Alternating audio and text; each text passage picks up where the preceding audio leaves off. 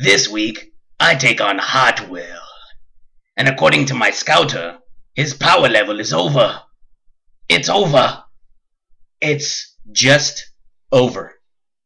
You see, Hartwell, this week it's not about fun and games.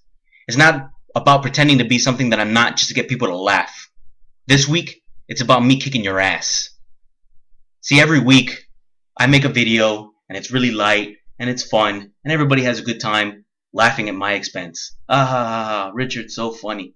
Man, I'm so glad he made a Bill and Ted video, which I didn't make yet. But when I do make it, everyone's going to be happy that I did it. But this week, it's enough of that. No more fun and games. You talk about how it's four losses too many. Four losses in a row since the last time you played me. Well, guess what, buddy? It's about to be five. Because I'm going to continue your losing streak.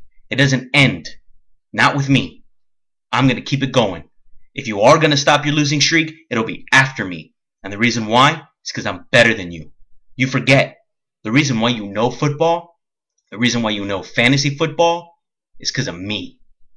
And this week, that old saying comes back. If I make you, I can break you. Well, this week, I will break you. I'm going to annihilate you. I'm going to destroy you. I'm going to beat you worse than anybody's ever beaten you. Fire League trades, that's not going to be even a topic of conversation. Now, all anyone's going to say when it comes to fantasy football is when Richard kicked the crap out of Hartwell.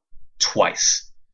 So you better get ready to bow to the masters break it down. No, seriously though, I'm just playing. I just wanted to seem pissed. I didn't really know what to do this week. Something about Vegeta and the power level of 9,000, but I can't do it. Vegeta imitation. So instead, I just decided to tell you how much I'm going to kick your ass. But I hope you enjoy it, and I hope you have a good time, because it is about fun and games, but I am going to kick your ass, so eat it.